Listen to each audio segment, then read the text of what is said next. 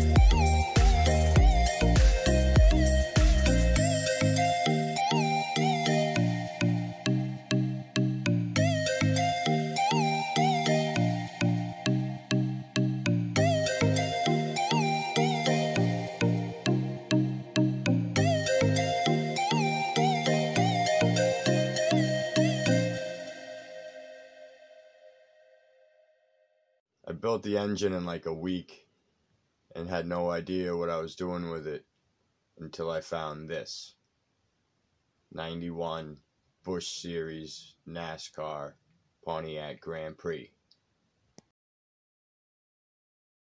So I bought this car with LS 53 homemade motor mounts. Some kid made. And up a little higher than I want. But I guess the the pan is about level with the cross member. I just have a ton of space there. He had it marked up with a even bigger truck oil pan. But I just wanted to get it set in here. I can get an idea for a transmission cross member and try and get a drive shaft measured up. This is my first LS swap, figuring out this wiring. Thankfully, there's websites like lt1swap.com. Make it uh, easy enough, I suppose. Getting closer. Cobbled together some power steering junk. Gotta get an alternator. The main main battery down. Thing went open. Whatever. Goes down for a starter. It's the old starter solenoid from the original car, but that main cable comes in from the cabin and it's hot when you turn the master switch on, so I'm just running off of that.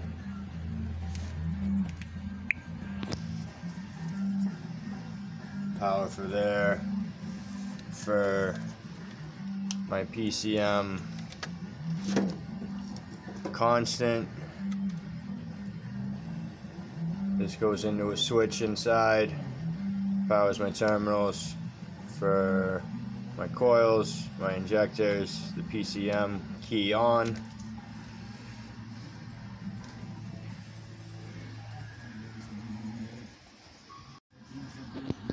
Inside,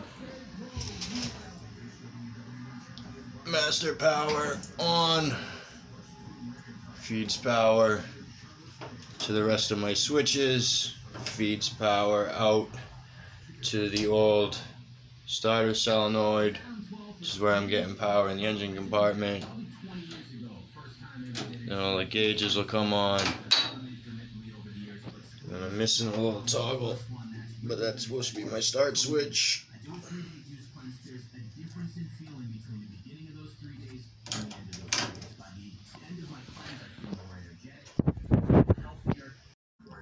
So to do this the uh, easy way, you know, cheap way, 40 bucks. Got the old Silverado fuel pump. And we're just gonna figure out how to cut that guy in there. And uh, gotta run a return line. Figure it out. So cut about that much off the springs too, just so it's not so tight. Try and reflare these ends. That should be it. Shorter fuel pump. Shorten the pump. That's my fill cap. This is the O-ring for the pump. Like it was fucking meant to be.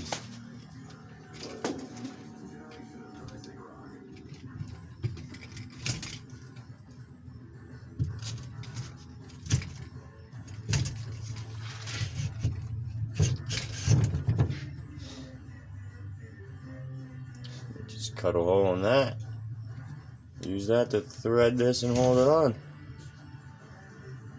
Take the gas cap, cut a hole in it.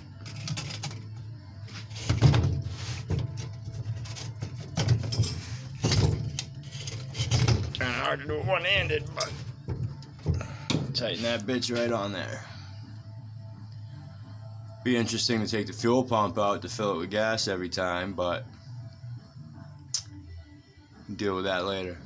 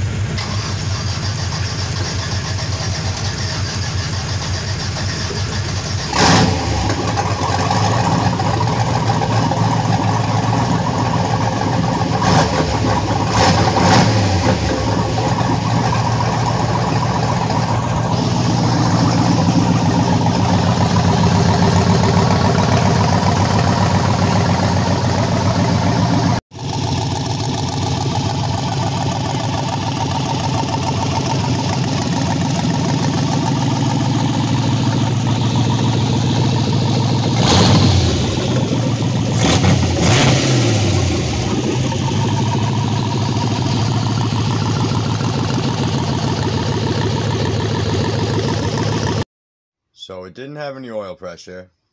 Had to replace the O-ring.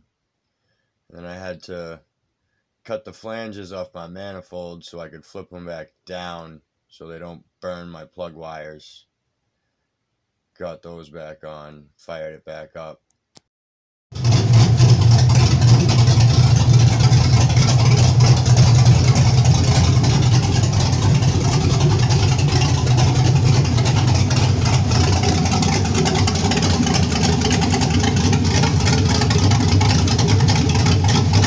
So I've only had the chassis for about three weeks.